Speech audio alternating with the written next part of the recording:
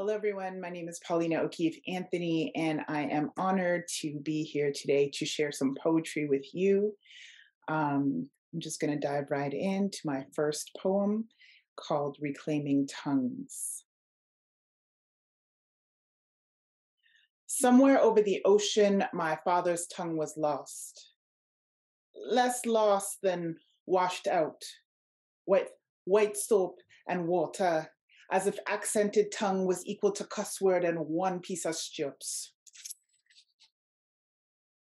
Somewhere over the Caribbean Sea, my father's tongue was scrubbed down to the taste buds, rubbed with Maraca sea salt to heal the wound, let it scab over to speak a queen's English perfectly. It hurts to hear him stumble over his attempts to conceal his immigrant status. One, two, tree, my sister corrects. Dad, it's three. Oh God. And there it is. A subtle sound, I soak it in, silently mouthing it in the mirror, recording and playback to hear my father's tongue roll off my own, striving for the same authenticity. But if his tongue has been scrubbed, mine has surely been stripped the faintest traces of the ancestors on my breath, my small but mighty rebellion against a colonized English because no old white crone could ever be more ro- royal than me. I searched the tip of my tongue for the same stories my fathers held. Of back home and everything that was, I fight to retell them with the same authenticity, anxiety, with pressure to pronounce the places he lived correctly so as not to dishonor his very existence. When I visit my father's land, I tiptoe around the way I talk, trying to tame the tinge of foreign off my tongue. Steep my sentences in the authentic speech, coat my words in the sing song swing that tastes like Julie Mango in the morning.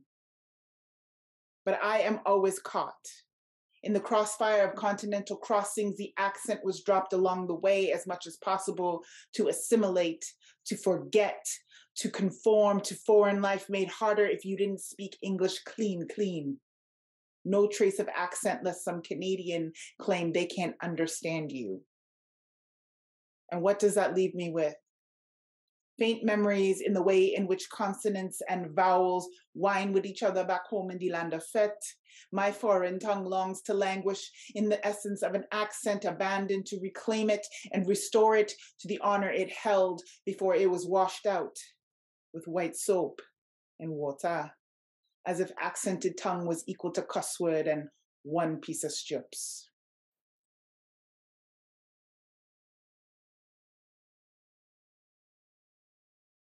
This next poem is called Black Bodies for Breakfast, and it is dedicated to all the lives of Black men who were brutally ended by police brutality over the many, many, many years. He sat with me, vulnerable, his shoulders slouched over, his eyes hollowed and empty, looking defeated. The news was out. We were having Black bodies for breakfast again. Consuming the media portals, he poured out his soul into my cup, nothing but black water, no cream, no sugar, nothing sweet about it. Just bitter conversation about another two brothers who probably wondered if they were going to be next at some point who probably had the same conversations with their spouses, shoulders slouched over, vulnerable, eyes hollowed and empty, replaying every unjust encounter they had had with law enforcement prior, wondering if they were going to be able to protect their children from ingesting images of Black bodies for consumption through the news outlets, nothing but eggs, bacon, and hashtag names for breakfast. Sipping unsalted tears for Black men I didn't know personally, but Alton Sterling and Philando Castile, I take your deaths personally because the person who means most to me looks just like you, and the news of your murders has him sitting at this breakfast table just personally broken. Seeing a black man vulnerable and open is a rare sight I am not accustomed to capturing, but there it is. living in snapshotted memory of an expression of hopelessness as it replays over in my mind, reminding me there was nothing I could do to make it better. Nothing I could do to make it taste less bitter going down. Nothing I could do to have never saw it in the first place. Black Body are today's lunch hour conversation at my workplace. Friends send triggers to every app I haven't yet deleted. On a week, I tried to detox from the triggers of trolling Twitter fingers, Facebook, and Instagram. I still face images which instantly re traumatize me. Realize that I don't even have the privilege to simply tune out because it is so in tune, it finds me every single time. See it all through teary eyes, blur my screen, detonating bombs which destroy any peace I have tried to find, makes me feel like, as a black woman marrying a black man, having black children, it's clear in the society, peace was never supposed to be mine. In every Black restaurant, Black bodies appear, the side conversation to my main course as CP24 replaces disturbing content. I inhale it faster than my food, digested and regurgitate stories of brutalized Black bodies. My dinner time conversation tonight and every night. Breaking stories keep replaying from across the border, from as far away as the US to as close as Brampton but black bodies are borderless and so no matter where it happens it always feels way too close to home it has perpetrated our tongues and thoughts. It has seeped into the walls of our minds as it sits on the walls of my living room as a Black Lives Matter painted canvas reminds me that we in this house are worth more than what is projected to us from our screens. I cannot avoid conversations anymore about Black bodies at breakfast or lunch or dinner or with my four year old daughter who wants to know why all the Black faces on the banner at the protest had to die or future conversations with my son. I practice like reciting a brand new poem for slam competitions in hopes that if I recite it perfectly, he might not be the next conversation piece we have at this table. But I can't guarantee it, and neither can he. So all my partner can do is sit there, a black man, vulnerable, shoulders slouched over, eyes hollowed and empty, pouring out his soul into my cup. Nothing sweet about knowing it's another morning of black bodies for breakfast. And I've never been someone who could stomach my coffee black.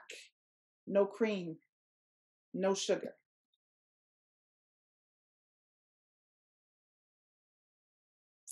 All right, we're going to switch it up a little bit uh, to some more empowering stuff. And this poem is called Black Woman, You Are More Than uh, dedicated to all the strong Black women in my life who I admire.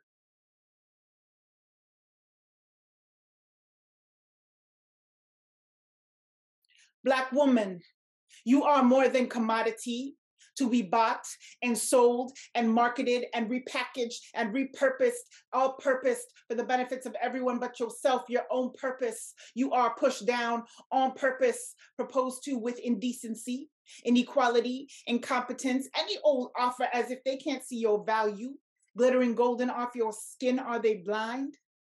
Black woman, you who are deemed goddess, once worshipped, statues made in the image of your curvature, your character, your adornments, they sell for cheap. They call you cheap, a slap in the face because they can't afford you. Black woman, worth more than the ship they brought you on worth weight in gold. They who are so poor they can only afford to throw dollar bills, but you are more than just scraps to get by. You are destined to thrive, so they do the most to keep you from your destiny, but you will manifest it anyway. And even when they try to copy everything about you, they can't copy your soul. That is something even the devil himself cannot sell.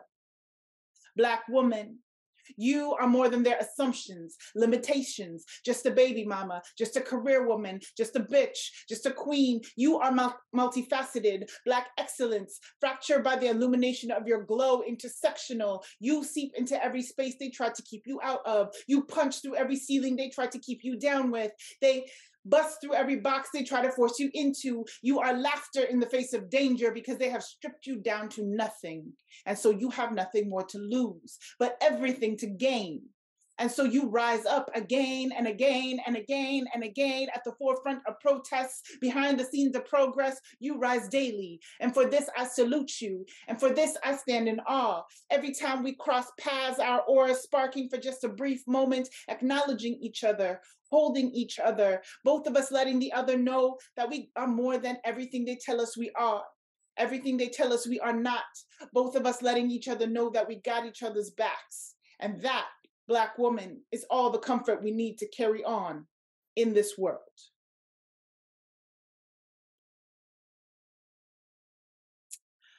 All right, so I am going to do this next poem. It's called Yo, Who Taught You? And it is definitely dedicated to amazing Black female poets in Canada. Big shout out to Andrea Thompson uh, for putting me on today. And she's definitely featured in the poem. She's one of those pioneers for sure. Um, this was one of my favorite poems that I think I have ever written. Um, and so I'm very excited to perform it for you all.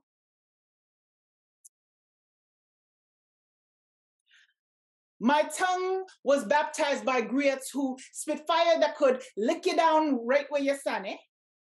Melt you with their metaphors melodic. They made my body sway to the sound of the revolution, pulse to the possibilities beyond the prescripted stories that before then had always been told in that grayscale flip the script, bringing in that technicolor and that heavy bass and that steel pan and that circle drum and all those missing nouns and verbs and synonyms I synchronize with my snaps.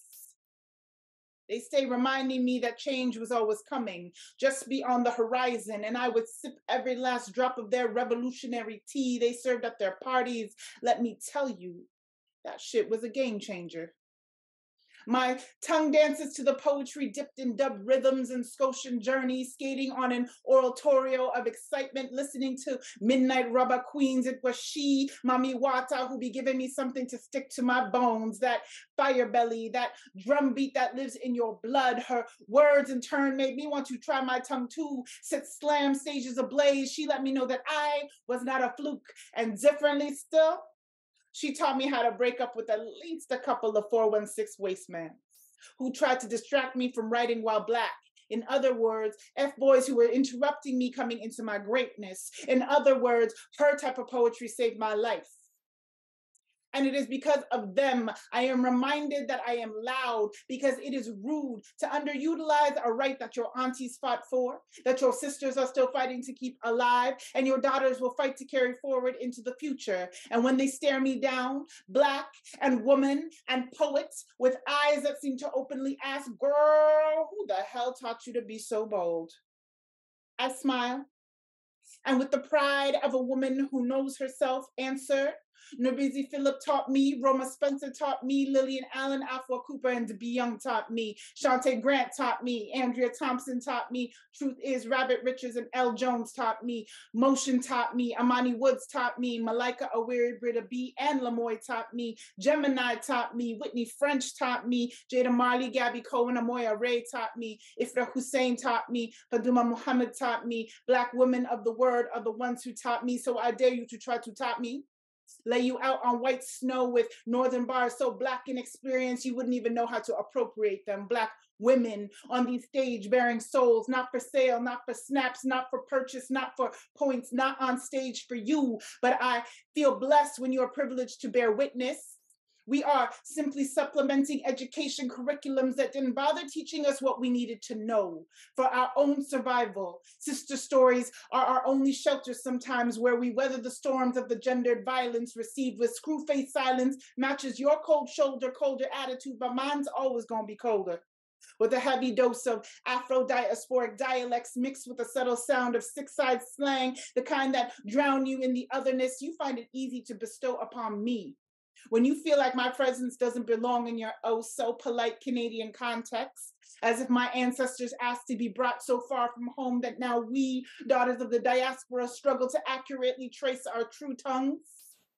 I am the product of musical mixology, of wordsmiths who have perfected their crafts, storytellers, sisters who slam, griots of the great black north, godmothers of the original word, blessings to the ancestors who have passed on, but more life to the ones who are still here to pass on the word, and word is bond. May we continue to light the path for the next generation with the fire from the bridges we burned that held our carefree black girl magic captive for so long. We are finally free to cross over to the other side where the grass is greener, the berries are blacker, the juice is sweeter, and the punchlines hit harder than the racial violence that seeps out of our songs. Stay locked into our memories, scroll down our timelines, and yet somehow we still manage to carry on. And even though we might make it look like it, this shit ain't easy. And when it comes down to our own story survival, it damn sure wasn't easy, but rather it was Norbeezy Phillips who taught me, Roma Spencer taught me, Lillian Allen, Afua Cooper, and Debbie Young taught me, Shantae Grant taught me, Andrea Thompson taught me, Truth is, Robert Richards and L. Jones taught me, Motion taught me, Amani Woods taught me, Malika Awiri, Britta B. and Lamoy taught me, Jemeni taught me, Whitney French taught me, Jada Marley, Gabby Cohen, Amoya Ray taught me, Ifra Hussein taught me, Faduma Muhammad taught me, Black women of the word are the ones who taught me. And if you play, pay close enough attention, girl, hmm, we could teach you too. All right, so it's definitely one of my favorite poems. Shout out to all those legendary Black women in poetry who lighted the way. A lot of them lighted the way for me. Um, and some of them are doing amazing things. Actually, most of them are doing amazing things to this day. So I just wanted to make sure that that poem was highlighted in the series. Um, my last poem for y'all is going to be called um, Reclaim Our Own. It is a very old poem, but one of my favorite poems. So I hope you enjoy it uh, as much as possible. When are we going to reclaim what we own? I don't even know. That's why I fight until they get back what they stole. Why is it that we must work harder than the rest to make our issues heard? Is it because of our skin pigmentation? Or the way in which we dress? Is it because of my last name? Or because the lands from which we came from are being raped and ravaged, then they dare to label me the savage? Under average, but from the get go, I knew my civilization had the advantage. See, even in captivity, they couldn't manage us, handle us, branded us with meaningless names. Well, to me, they're meaningless anyways, because I never saw my race as ignorant only blinded by our kindness, backstabbed our people, and binded us to backlashes and talk trashes and accusations of terrorism, crusades based on romanticism, democratic fanaticism, our culture's lost in colonialism, and our nations still struggle with globalism in a globalized world where today when we lose situation. However, they so generously donated to us AIDS, drugs, and alcoholism and a not so fair trade for our land and manpower. They say my men have lost power. They can only gain it back in certain arenas these blasted puppet masters of swear. Today, I cried for my people. My brothers and sisters, I feel you. I see you looking at me in public spaces where my face just doesn't belong. And truly, I tell you, I just don't know. You see, it was easier for me to recognize my unwanted presence when no black signs in the windows still showed so bold and so cold. I remember when mosques were still considered holy places and every headline on CNN News with these so-called terrorist Muslim faces. And I remember when the continent, Africa, was not the infected, but the infector of knowledge with knowledgeable teachers. And down in the Americas, they came with their preachers. And now my Latin American brothers and sisters live sad lives with a desire to improve their consequence. Fighting the past colonial tragedies in the right, in the World Bank, and the IMF, and the left. I'm left short of breath at these situations but I tend to lose all sense of vital signs when I see my people choose not to fight these systems, but their own nations. To the point where they got us eyes wide shut, survival of the fittest. To the point where my brothers think their only options are NBA, BET, the blocker, watch their lives diminish. To the point where my sisters feel that we are at the very bottom of the class. So just to get by, we skip the thought process and start shaking our ass. And I don't mean to be critical, but these are critical times. See, our survival as a people depends on you, me, and we. So don't let the media fool you.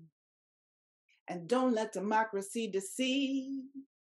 Just because you're not on the plantation no more does not mean that you are free. So, where's our place and when is our time? I don't even know.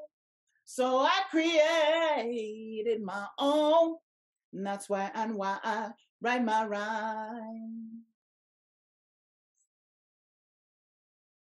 All right, y'all. Thank you so much for enjoying that poetry with me. Thank you, Brickyard. Thank you, Andrea Thompson, for all of this.